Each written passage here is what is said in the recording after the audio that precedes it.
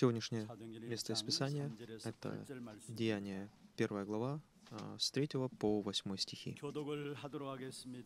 Вместе прочитаем.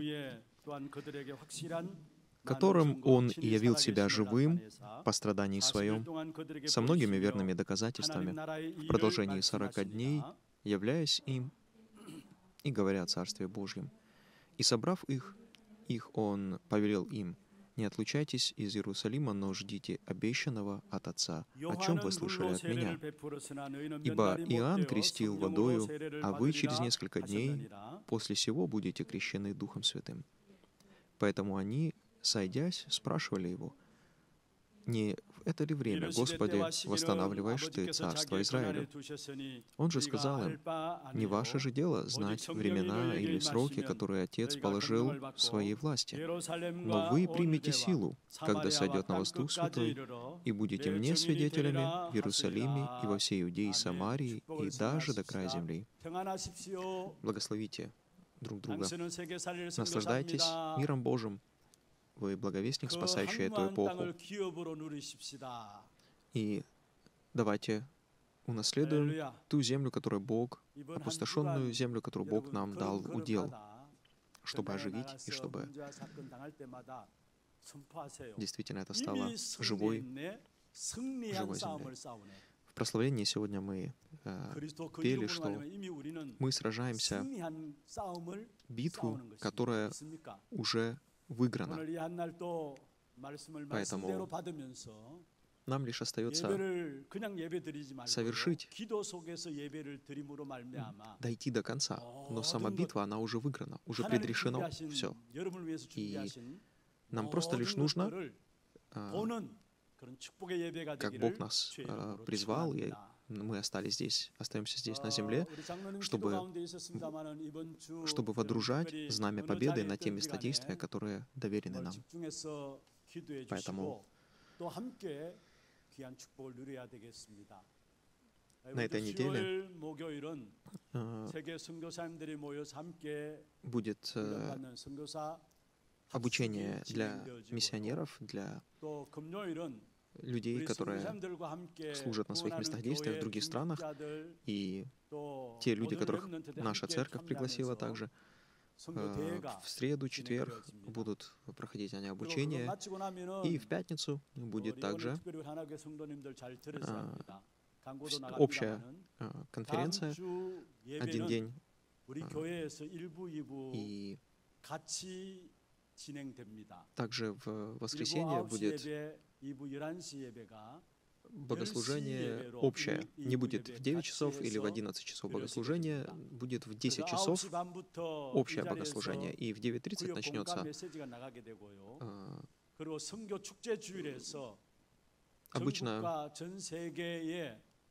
ну, как бы, да, будет прославление, все, все, все так. Поэтому это не только наша церковь, это и другие церкви также будут э, общее, общее богослужение в 10 часов. Поэтому э, помните,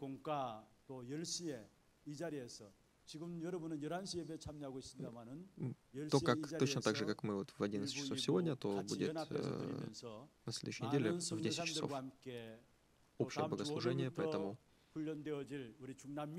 людей будет много, поэтому приходите, занимайте места заранее, потому что еще будет 70 э, человек из э, Латинской Америки или из других стран, но а, таких. И это будет время также и э, после После обеда также будет богослужение и будет общение с всеми миссионерами, с людьми, кто приедет. И э, тема, сегодня, тема не сегодняшняя, а миссионерской конференции — это страж молитвы, у которого есть башня. Потому что, чтобы быть стражем молитвы, то необходимо построить башню. Если есть башня, тогда страж молитвы действительно может быть стражем, то есть он может э, подняться наверх и молиться. Ну или же, если мы говорим просто о страже, то он может видеть э, то место, которое доверено ему, и быть стражем, действительно охранять, чтобы э, враг не проник туда. Поэтому нам точно так же доверено такое благословение Божьим, Богом быть стражами молитвы, и нам нужно а, обретать силу от Бога для того, чтобы на наших местах действия ставить вот эти башни. Поэтому, поэтому даже если мы не все можем участвовать, например, в миссионерском обучении, либо же в на, на конференции, то в молитве давайте будем вместе и будем молиться за тех людей, кто не может поехать участвовать, чтобы пришло в их жизнь расписание, потому что есть расписание, и они этого расписания дождались, чтобы они также могли а, даже физически быть, присутствовать там в следующий раз, может, может быть, взять даже а, отпуск или там выходной день, потому что это действительно важный день обретения силы. И сегодня мы также продолжим э, говорить о том, что произошло после воскресения. И второе, что произошло после воскресения, это то, что Иисус, Он говорил, э, передавал ученикам, апостолам Слово о Царстве Божьем. То есть он говорил о том благословении, которое уже есть в жизни тех людей, которые приняли Иисуса Христа. Говорил о силе также, которая сходит на них. То есть вот это и есть, это э, абсолютная башня престола Божьего которая утверждается на местах действия людей, которые следуют за Христом. Потому что это не своими силами мы это все делаем. Потому что мы не просто в религию какую-то верим. Мы верим в Иисуса Христа, и поэтому сила Божья, соответственно, проявляется в наших жизнях, когда мы, как сегодня э, также молился пресвитер, и как сегодня также э, на утреннем мы говорили о служении о том, что даже Иосиф, он, э, войдя в когда он пошел уже в Египет, то он уж, уже шел туда не с пустым, опустошенным сердцем или же бессильным. Он шел, зная, что Божья сила вместе с ним — что Божье благословение вместе с ним. Поэтому что мы видим, где бы он ни оказался, он а, был ли в темнице, был ли в, а, у Патифара, Бог благословлял то место, где он находился.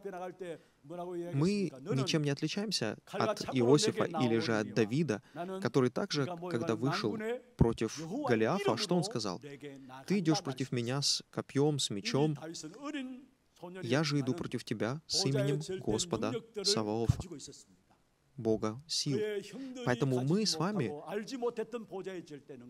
мы ничем, сколько бы нам лет не было, чтобы, когда бы мы, сколько бы мы уже там в вере там долго или недолго, точно такую же силу мы и точно такие же благословения мы можем испытывать в нашей жизни и на наших местах действия.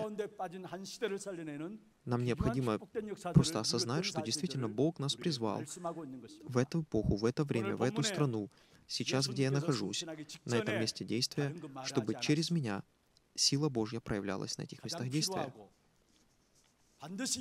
Поэтому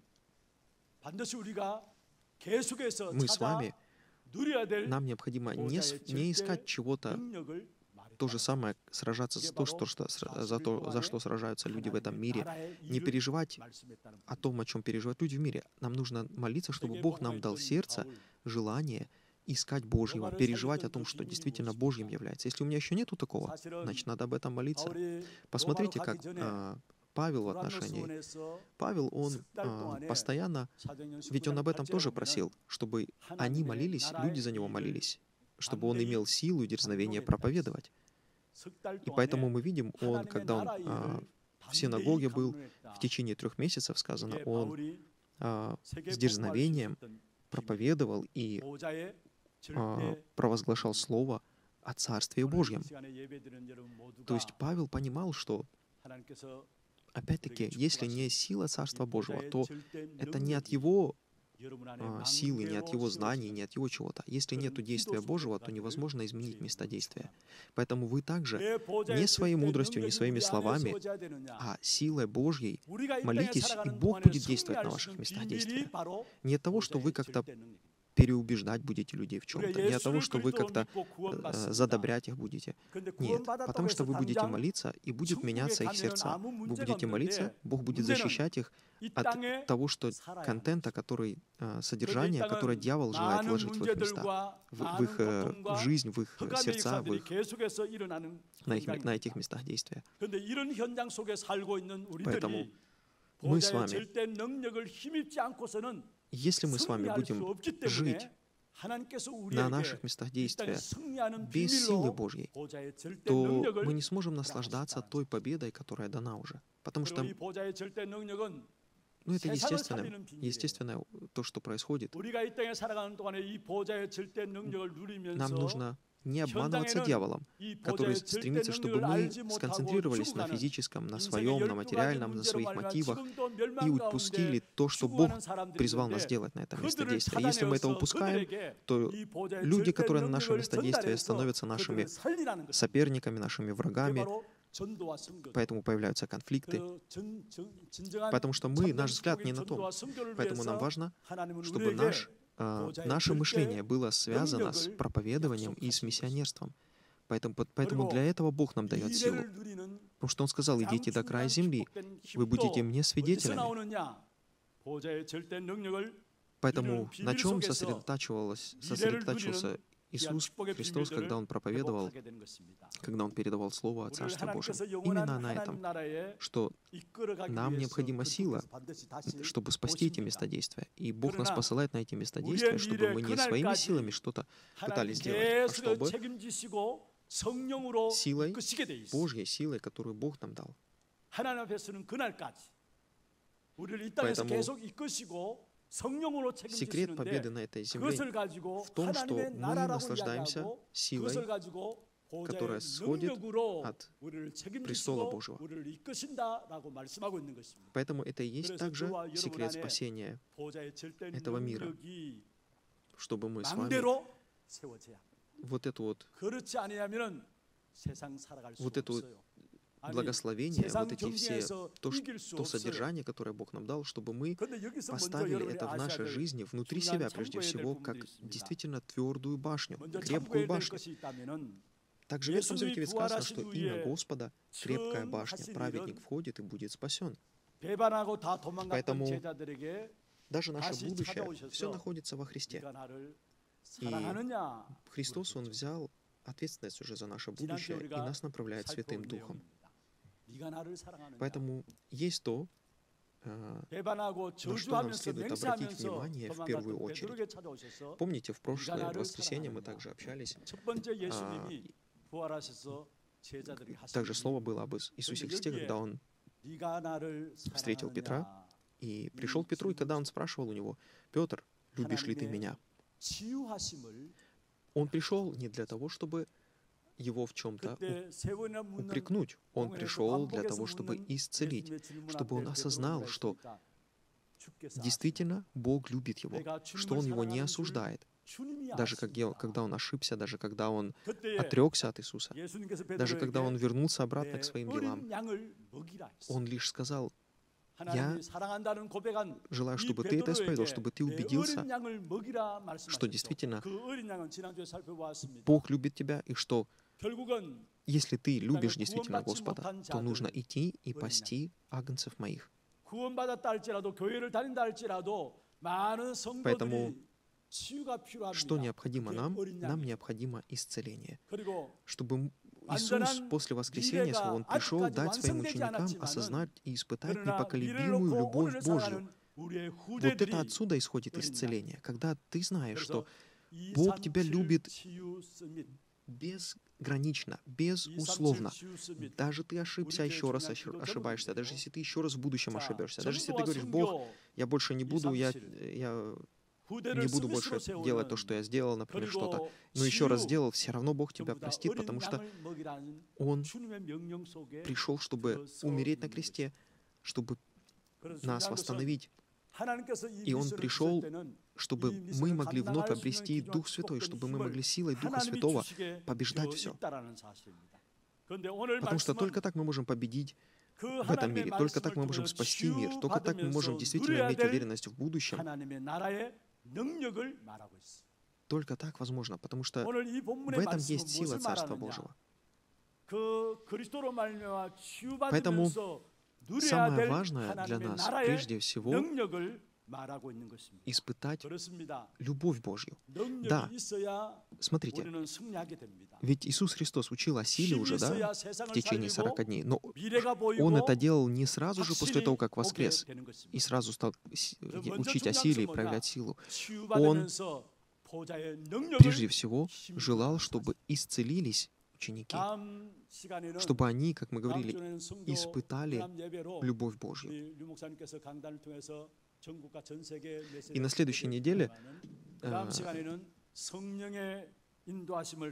мы будем слушать э, Слово Божье, которое будет говорить о тайне Духа Святого.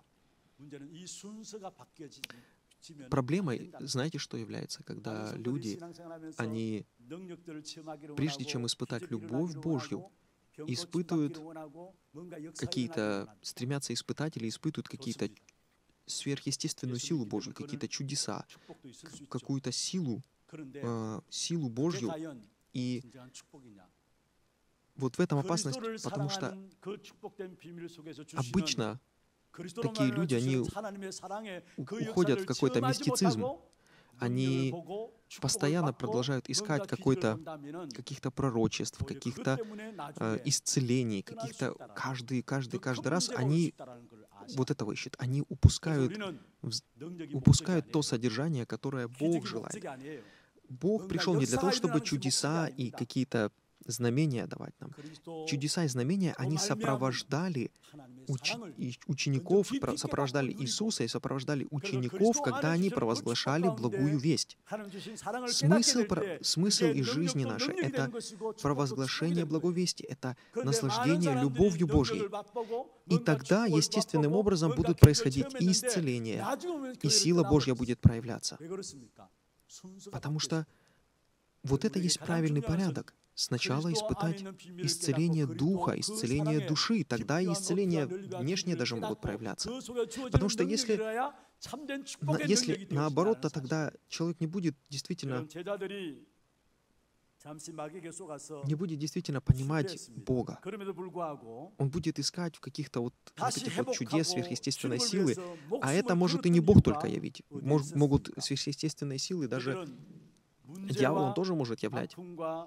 Поэтому посмотрите, почему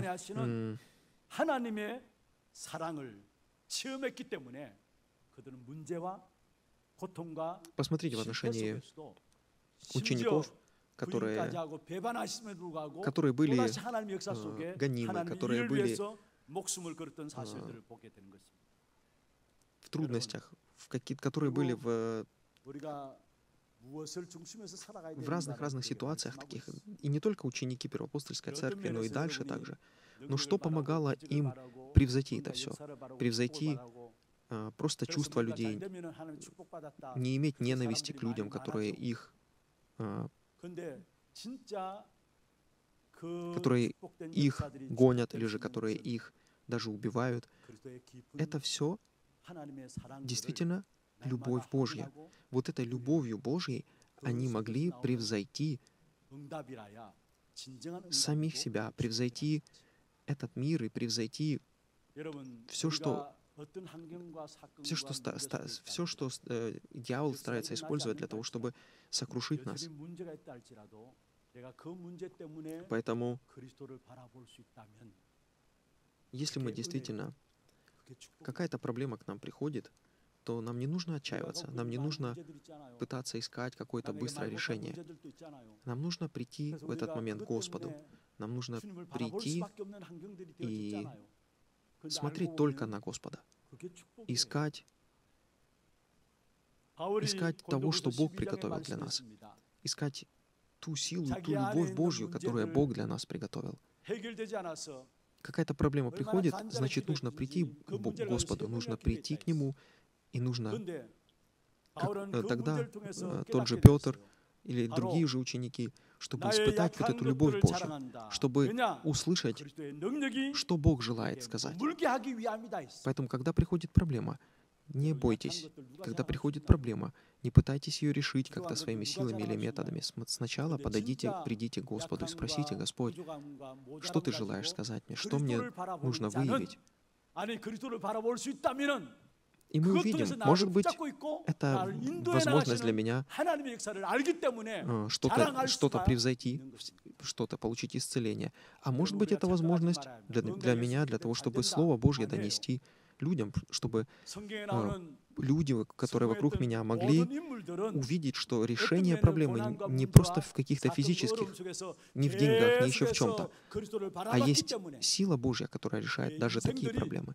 Поэтому всегда, прежде всего, ищ, давайте искать, в чем Божий план, в чем... А, потому что Бог, Он не оставляет нас. В любой проблеме, в любой ситуации Бог вместе с нами.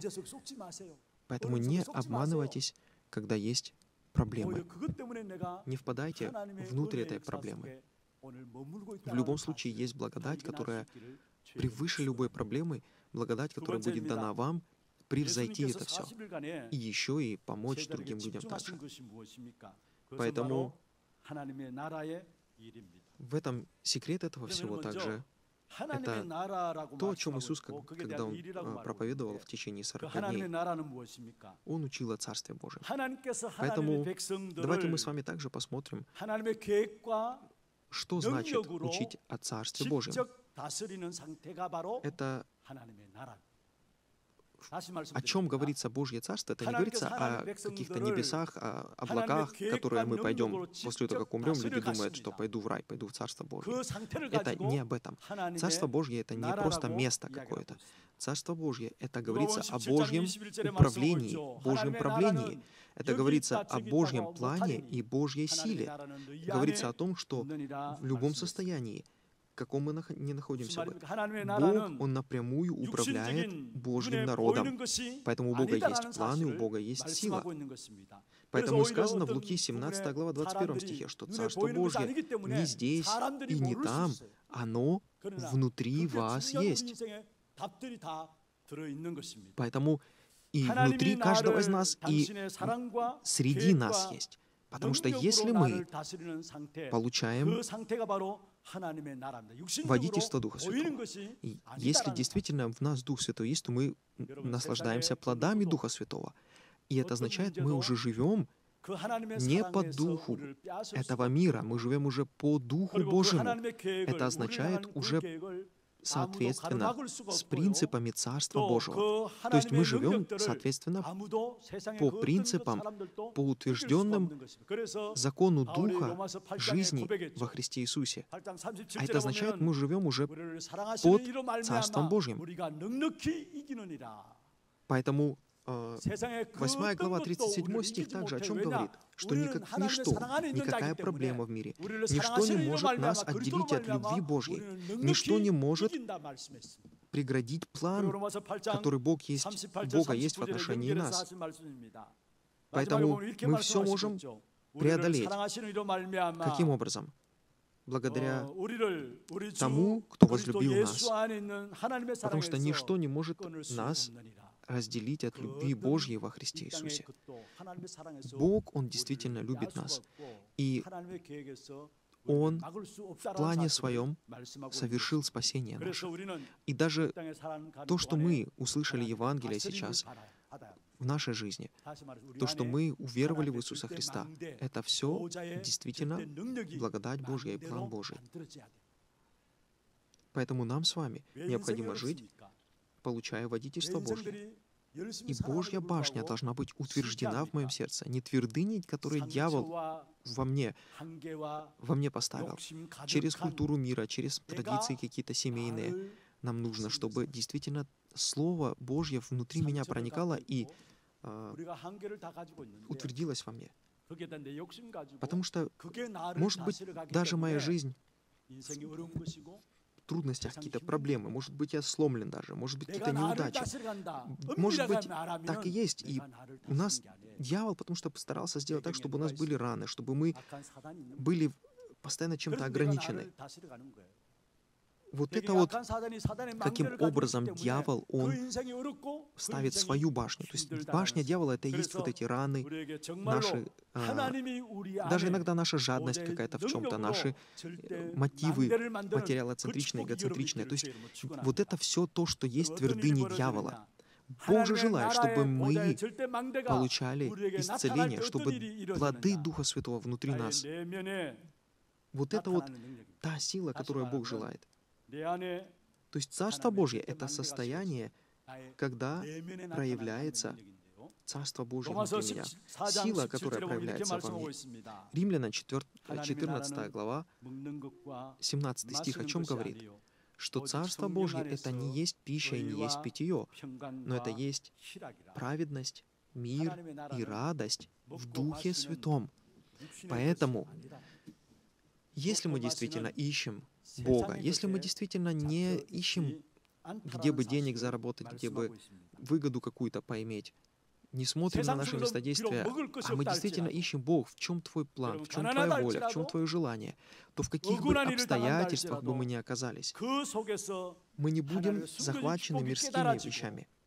Мы не будем захвачены нам, нам действительно будет мир, покой и радость внутри нас, Вне зависимости от того, у нас сейчас при избытке всего, либо же у нас недостаток сейчас чего-то. Потому что мы знаем, что Наше сокровище — это не просто физические наши деньги или наши... Это не означает, нам нужно бедными жить, не означает, нам нужно а, не учиться, не нужно, ничего не нужно делать. Это же ведь не об этом говорится. Это говорится о том, что в каких бы обстоятельствах бы мы ни оказались, что бы ни случилось со мной, где бы я ни находился, в какой бы стране ни находился, война может случиться, что угодно может случиться. Может, я могу лишиться дома даже. Нет, это не означает, Бог так меня как-то испытывает. Нет, мы живем в мире, который не Царство Божье. Поэтому все что угодно может произойти. Потоп может случиться. Может, что, какая угодно проблема. Но в какой бы проблеме я ни оказался, Бог будет со мной. И Бог даст мне силу и благодать превзойти любую проблему и помочь еще и другим людям. Вот в этом сила Царства Божьего находится. Поэтому мы с вами мы видим, что сила Божья, она открывается в Слове Божьем. Поэтому, когда мы смотрим также Матфея 28, 12 глава, 28 а, стих, что там говорит? О том, что мы, а, вот эта вот сила, которая, то, что Иисус сказал, что а, то, что я могу, правильно, на русском языке, как бы сказать, то, что как бы из, изгоняются силы тьмы. И сокрушаются силы тьмы из царства дьявола, это означает, что Духом Божьим, как Иисус сказал, что я Духом Божьим, из... если же я Духом Божьим изгоняю бесов, то это уже значит достигнуто до вас Царство Божие. То есть Дух Божий силой Духа Святого, силой, силой именем Иисуса Христа мы можем побеждать силы тьмы. И даже, Ефесянам 6 глава 12 стих, Павел о чем говорит? Что наше сражение не против плоти и крови наше сражение против духов злобы поднебесной. Вот эти падшие духи, которые с самого начала несут, вот эту, несут вот эту тьму, а, которая... То есть тьма — это отсутствие света, отсутствие Бога. Они не вот эту тьму, хаос, пустоту несут в вот этом духовном мире. Но если Царство Божье, что значит утверждается Царство Божье? Это означает, утверждается Божья башня. Вот это когда Божья башня утвердится во мне, если я действительно, как сказано, что мы есть храм Духа Божьего, Внутри нас утверждается Царство Божье, внутри нас утверждается Христос. Иначе что получается? Иначе люди живут как дети дьявола. Потому что они хотят или не хотят, они исполняют желания дьявола. Потому что в них нет, если нет Духа Божьего, нет света. А это означает, что у них нет их мысли, их желания, все окутаны вот этой тьмой. Поэтому мы с вами, которые уже верим в Иисуса Христа, в которых Дух Святой есть, если действительно Святой Дух станет, если Иисус Христос станет Господом моей жизни, тогда Дух Святой будет действовать, и силы тьмы рухнут внутри меня. Силы тьмы будут разрушаться на всех тех местах действия, в которых я нахожусь. Работа, на которой я работаю, а, любое дело, которым, которым я занимаюсь, там будут открываться двери и будут будет совершаться действие Божье, будет совершаться евангелизация всего мира, потому что на всех местах действия, где я нахожусь, евангелизация, всемирная евангелизация, это не то, что я дал деньги, кто-то поехал. Э, это тоже часть этого всего. Кто-то поехал на какие-то миссионерские действия куда-то, или я возьму куда-то, уеду как миссионер. Нет. Миссия, всемирная евангелизация совершается через каждого из нас на всех наших местах действия. Я здесь, в Корее, нахожусь, кто-то находится в другой стране, кто-то в Латинской Америке, кто-то в, в Африке, кто-то еще где-то. Вот таким образом совершается. Поэтому как мы можем наслаждаться этим Духом Святым, как мы можем наслаждаться Царством Божьим? Святой Дух находится с нами, спасенными, чтобы направлять нас, чтобы научать нас, чтобы действовать и работать вместе с нами, потому что Дух Святой внутри нас, и мы являемся уже храмом Духа Святого.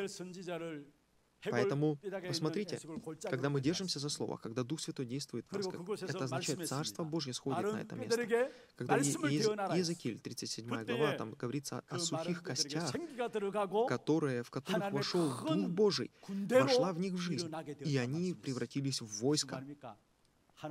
И что говорил тогда Господь? «Провозгласи Слово Мое на кости эти, чтобы дыхание вошло в них». Слово Божье, Дух Божий есть животворящим. И это оживотворение происходит каким образом?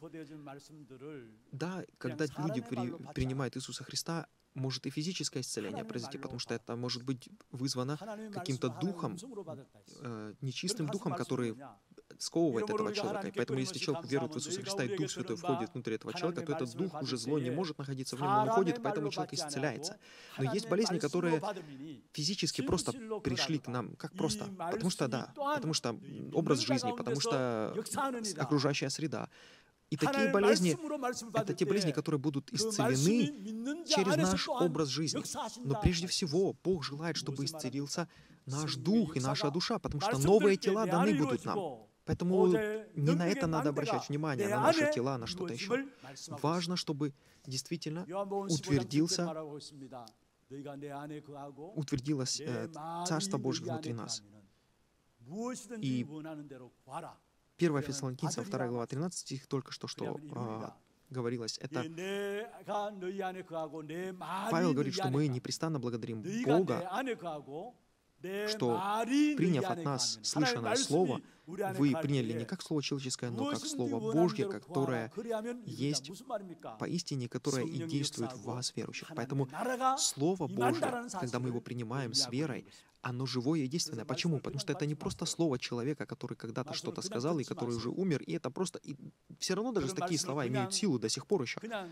Но Слово Божье, оно живо и действенно. Почему? Потому что Бог, Он живой и действенный, Он и сейчас живой, поэтому Его Слово имеет силу. Смотрите, если какой-то человек что-то сказал, и он еще живой, то то, что он сказал, вот если дал слово, да, то ты держишь слово свое. Что это означает? Ты пообещал что-то, и если ты еще живой, пока ты живой, кто-то скажет, ты же обещал вот это, ты будешь исполнять это слово. Вот в этом смысл есть. Бог, Он живой, Он вчера, сегодня, во веки тот же. И если Бог сказал что-то, и мы держимся за это слово и говорим, Бог, Ты сказал, что я благословлю того, кто будет что-то и что-то. Я благословлю, я буду с ним. Поэтому мы, держась за это слово, мы молимся Богу, и Бог, Он по этому слову совершает и действует. Поэтому не забывайте, что Слово — это не просто какая-то история, Библия — это не просто исторические книжки, это не просто какие-то научения, нравоучения. Нет, это живое Слово Божье. Поэтому правильно смотрите на Слово, правильно понимайте это. И не обманывайтесь того, что у вас есть, чего нет. Где вы сейчас, не думайте, не переживайте о том, что будет в будущем. Бог, Он вместе с вами, и Он, Он действует Духом Святым. Поэтому, чего мы не попросим, будет дано нам, если мы действительно ищем это, прежде всего ищем Царство Божьего, и если мы ищем Царство Божьего прежде всего, и тогда, чего мы не попросим, будет дано нам. Это значит, Дух Святой будет действовать, Царство Божье будет сходить на это место действия. Поэтому мы с вами призваны для чего? Для того, чтобы быть постоянно в путешествии Завета. Как Иисус сказал, вы будете мне свидетелями в Иерусалиме, Самарии, Иудее и до края земли. Поэтому молитесь, если нет еще такого, молитесь, Бог, поменяй мои мысли, поменяй мое сердце, помоги мне искать не чего-то физического, не переживать о дом, машина, квартира, я не знаю, что угодно. Не не о физическом, материальном переживайте. Все то, потому что все это приносит вам постоянно, приносит нам постоянно проблемы, постоянно приносит стресс. И мы под давлением этим постоянно, постоянно, постоянно живем и друг другу даем стресс тоже. Каждое утро просыпайтесь и молитесь, чтобы Бог наполнил вас Духом Святым, чтобы помог вам смотреть на местах действия, помог вам смотреть на людей, на обстоятельства, в которых вы находитесь, смотреть через призму Евангелия, через призму Слова Божьего и Духа Святого. чтобы мы действительно могли утром обретать силу, в течение дня смотреть на все через глазами молитвы, вечером, когда приходим домой, чтобы мы уже могли проанализировать и увидеть, где Бог, что Бог, какое послание для меня Бог приготовил, какие ответы Бог для меня приготовил, чтобы я не упустил это все. И записать, может быть, что-то даже, чтобы на утро следующее проснуться и уже как бы как шаг за шагом, ступенька за ступенькой, продолжать двигаться в том направлении, которое Бог нас призвал, и чтобы в нашей жизни совершалось Царство Божье и вот это есть вот эти три, три, концент, три сосредоточенности. Утро, день и вечер. И таким образом мы, получается, как бы находимся 24 часа в молитве. Почему? Потому что мы утром помолились, в течение дня мы превращаем наши мысли в молитву. Мы общаемся с Богом. Мы не просто говорим, а почему эти люди такие, почему они... А, мы не просто таким образом говорим, Бог, если действительно мы не просто для осуждения кого-то говорим, а, почему они такие, а потому что если мы с Богом действительно спрашиваем Бога, почему они действительно такие, Бог тогда даст мудрости молиться за них правильно, за этих людей. Может быть, сказать им что-то. Вот это есть, вот это есть то, что мы сможем видеть духовную реальность мира, этого, этого мира. Мы сможем видеть причины, первопричины, почему что-то так происходит, что-то не так происходит, и сможем тогда понять, о чем нам надо молиться. Тогда действительно через нас Царство Божье будет сходить на эти места действия и Царство Божье утверждаться будет. Как мы молимся, пусть Царствие Твое будет как на небе, так и на земле. Поэтому Бог желает, чтобы, чтобы Царство Божье совершалось в моей жизни, происходило, проходило, происходило, как бы утверждалось через меня на этих всех местах действия. 이때에 비로소 응답 이전에 Поэтому, прежде чем, в чем, в чем сила, которая Бог нам дает, это то, что моя душа оживляется, оживотворяется. И прежде чем я даже получу какой-то ответ, уже мое окружение оживотворяется. И это то, что невозможно остановить. Поэтому, если я с этим заветом, даже один человек с этим заветом, с этим пониманием живет, то тогда он сам, местность, в которой он живет, оживотворяется. И тогда действительно происходит беспрецедентное действие. Действительно, сила Божья является на этом месте действия. И мы видим это в Ветхом Завете, и через жизнь Иосифа, и через жизнь Давида, через жизнь Даниила, в жизни Павла, и в, современном, в современную эпоху также это все происходит. Поэтому станьте таким человеком, молитесь, Бог, помоги мне стать таким человеком, который наслаждается Словом Твоим, силой Духа Святого, который наслаждается Царствием Твоим, и который на местах действия, оживот... через которого оживотворяются места действия. Помолитесь об этом, и Бог поменяет вашу жизнь, изменит и сделает так. И вы не будете переживать о том, что есть, что пить, во что одеться. Молитесь, чтобы действительно все мысли, слова обиды, какие-то жалобы, негодования, чтобы все это ушло из вашей жизни. Каким образом? Чтобы это заместилось всем, все, все это заместилось э, миром, любовью, радостью в Духе Святом. Поэтому пусть Царство Божье сойдет на каждое место, на всякую проблему, на все события в каждом дне. Связывайте все с молитвой и с благодарностью открывайте сердца ваши Богу. И мир Божий, который превыше всякого ума, наполнит ваши сердца и сохранит ваши мысли и ваши сердца во Христе Иисусе. Поэтому дайте Духу Святому работать внутри вас. Дайте Духу Святому направлять вас. Наслаждайтесь благословением победы, которое уже дано вам. Для, того, для чего? Для того, чтобы спасение мира происходило через вас, чтобы вы могли наслаждаться совершенным будущим, которое Бог приготовил, даже здесь, на земле. Поэтому наши ремнанты, бизнесмены, люди, которые работают а, на своих местах действия, на, на работах, где бы, на какой бы работе ни работали, идите на эти места действия с силой Божьей. Какая-то проблема случится, это не, это не проблема. Конфликт будет, это не конфликт по-настоящему. Это возможность для нас выявить благословение Божье, выявить ответ Божий, через конфликт обновиться, увидеть что-то еще внутри меня, что препятствует мне наслаждаться миром, покоем, радостью и быть источником благословения для других. И просто ожидайте. Ожидайте, когда действие Божье произойдет на вашем месте действия. Не нужно что-то пытаться... Не нужно пытаться как-то что-то своими силами поменять. Ждите, когда ответ Божий придет, и бросьте вызов тогда. Поэтому это та тайна, тайна Царства Божьего, которой учил Иисус Христос. Первое — это то, что Бог, Он любит, любит нас, любит каждого из нас. И это любовь Божья, то, что исцеляет мое сердце, и то, что дает мне силу прощать и быть и жить на этих местах действия, которые Бог доверил. И второе — это то, что есть сила, которую Бог дает. И эта сила — это в Духе Святом. Это сила, сила, которая уверенность в том, что Бог в своих руках держит мое будущее.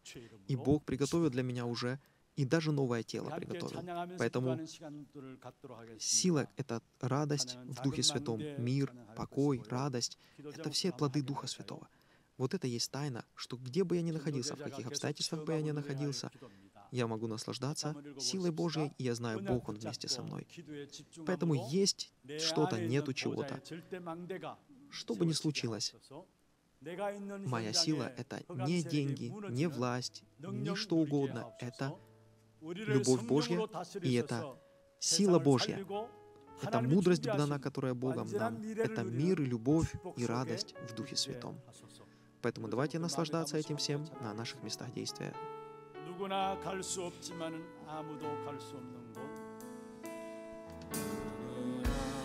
갈수 있지만 아무도 갈 수 없는 곳 누구나 답을 원하지만 아무도 줄 수 없는 나내 안에 작은 망대 그곳에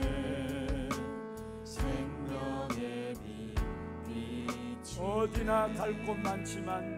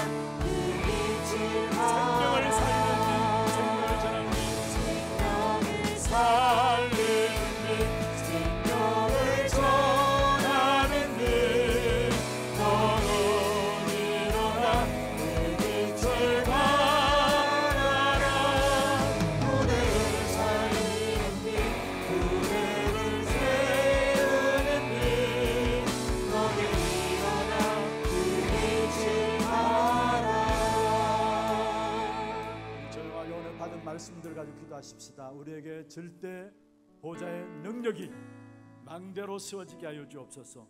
이 사실 때문에 우리가 말씀 붙잡고 기도 속에 들어가야 하시고 우리에게 주신 망대와 이정과 이정표를 놓고 24시 기도할 수 있는 기도의 비밀 속에 들어가게 하여 주옵소서. 그리고 우리의 모든 연장의 흑암의 역사들이 무너져 내리는 귀한 축복된 응답이 있도록 역사하여 주옵소서. 우리 같이 한 음성으로 말씀 붙잡고 기도하겠습니다.